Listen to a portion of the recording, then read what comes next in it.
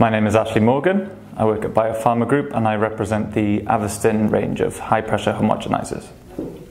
High pressure homogenization is a mechanical process and involves the forced passage of a fluid through a narrow nozzle or gap at ultra high pressures as high as, say, 30,000 or 60,000 psi.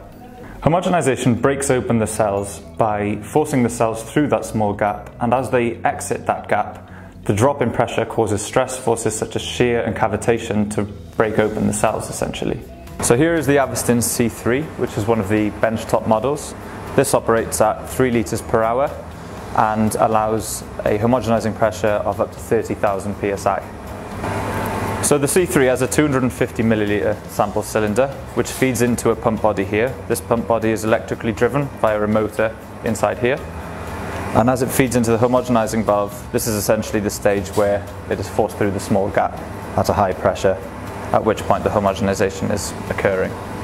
High pressure homogenization can be more effective than sonication or say enzymatic lysis due to higher protein yield at the end. But also in terms of cost from as you scale up, for example, things can become costly on the sonication and enzymatic lysis side. So in terms of efficiency and ease of use, homogenization is far more efficient. The technology minimizes temperature increase by including cooling coils or heat exchangers which would act as effective jackets and essentially nullify any increase from increased pressure.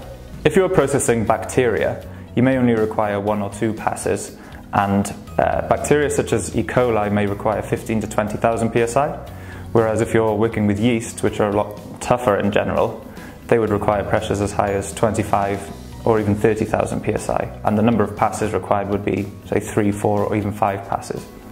The range of optimal parameters for algae can range massively. 10 to 30,000 is quite a general range, but that's what we would go for here, and it would be very sample dependent. Mammalian cells, since they're much weaker, you would only require one pass and, say, no higher than 5,000 psi. The homogenization technology is entirely scalable, particularly with the Avestin range. The head geometry within the homogenizing valves remains very consistent, meaning that the process parameters are maintained from the benchtop to the production scale. So Avestin set themselves apart from other manufacturers in the fact that they have a dynamic homogenizing valve. This is able to move in accordance with viscosity and nullify any risk of blockage. So in terms of maintenance downtime and labor time, this is a very efficient process whilst also maintaining a very high degree of quality.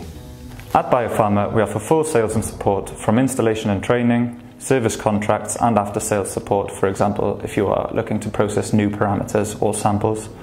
However, if you do have any new inquiries, please feel free to visit our website at www.biopharma.co.uk.